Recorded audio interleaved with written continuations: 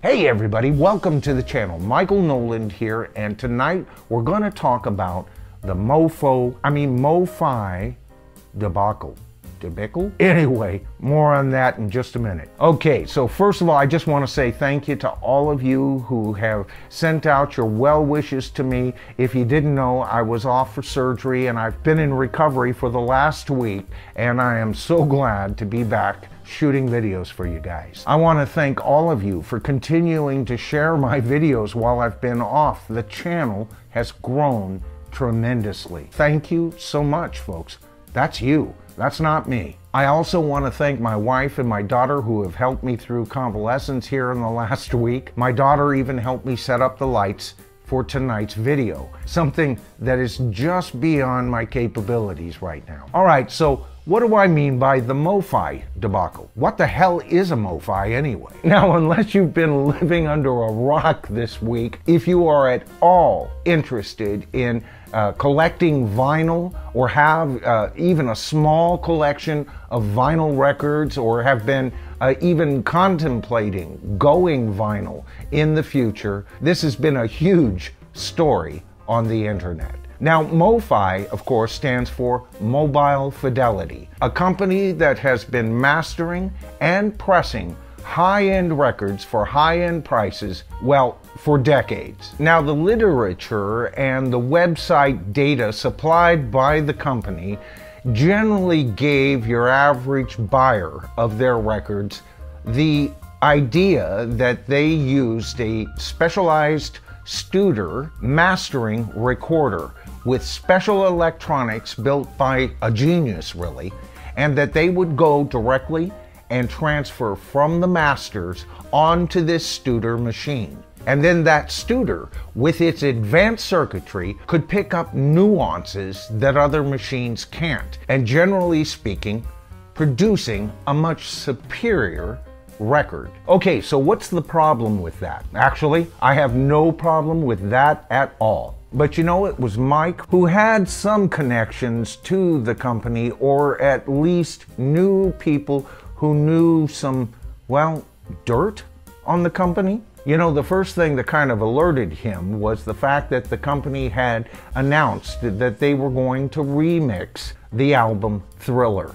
Now, first of all, Thriller by Michael Jackson has got to be one of the biggest selling albums of all time, if not the biggest selling album of all time. The masters for this album are precious, folks. They don't just let anybody continually listen to these tapes. That produces wear and tear. And he started reasoning wait a minute, they're saying they're going to put out 40,000 copies. Then he started doing the math. He's a reasonably educated audiophile. And then he started thinking, hey, wait a minute. You only get about a thousand pressings off of each recording. How many times were they going to put this master through its paces? Then he started hearing from people he knew in the industry that actually this was going to be a digital transfer from a digital master. Well, he tried to get a hold of Mobile Fidelity several times with very little success. But his video caught on, and either they finally got a hold of him and he conducted an interview with their three main engineers, all engineers with really solid names in the industry. They've been doing this for decades, folks. So here's the debacle. Did MoFi lie in their literature concerning their releases. Now, if further information informed us that, well, this was a special transfer, this was different than what they usually do, I don't think this company would be in any trouble right now.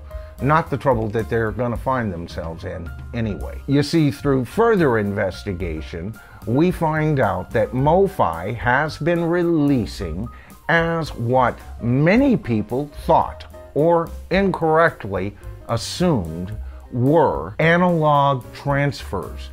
You know, like we talked about, from the master tape to that Studer mastering machine. Now, during the course of this interview with these guys, Mike would ask them things like, Well, did you actually do this from a master to a master? And they would begrudgingly say, Well, no, we took our, you know, AMD converters and and went there and did a transfer from a digital master. In other words, a DSD transfer. And you know, as I've watched other channels sink their teeth into this whole situation, it seems to me everybody's a bit reticent to call these guys a liar.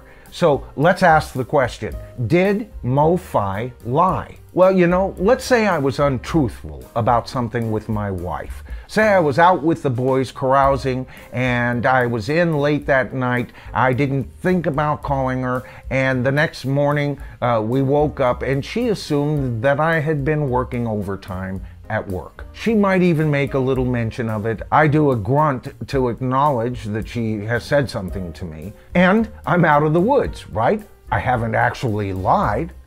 Or have I? You know, just deleting all the details of where I was all along is a freaking lie, folks. Now, MoFi has been known as a company where audiophiles have gone to get what they thought were honest to God analog master recordings. But here's where it gets interesting.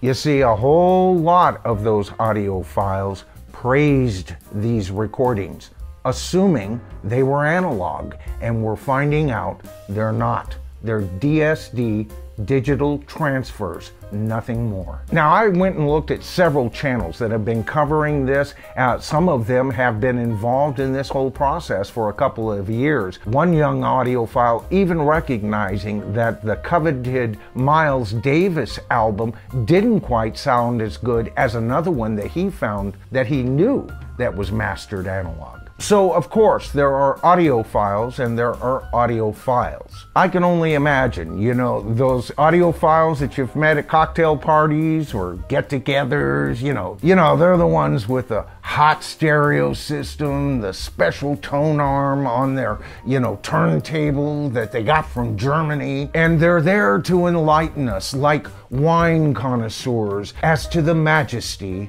of analog. Oops. You know, those people remind me of the same kind of fans I've talked about in past videos. You know, the fans will go see a band with one or two original members, in some cases no original members, yet touring under that band name and only going to those concerts for the bragging rights. Now, is there a difference between analog and digital? Yes, of course, there is a difference. But you know, the converters for the DSD files have gotten so good.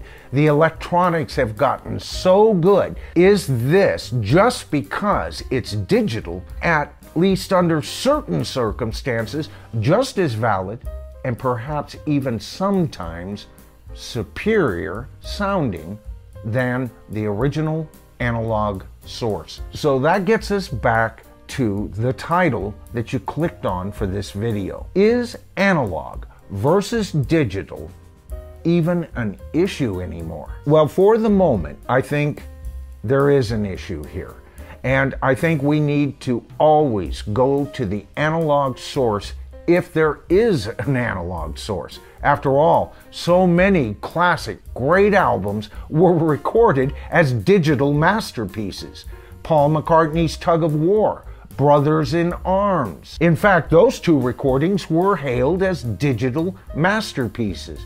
Now you know why in the painting of Paul McCartney on that Tug of War album, there are squares. It was to represent the digital media that that album, a classic I might add, was recorded in. You know, as a musician, I love the warmth that a good tube amp can provide. But I also love the clarity of a great digital recording. To me, the media chosen to record any recording project is only part of the artistic brushstroke. There is art in recording music digitally and then mastering it digitally. And of course, the artistic approach in analog has already historically been proven sound. So here's my question to you guys. If MoFi's records, these great records that have for years been not only included in the audiophile community, but praised as great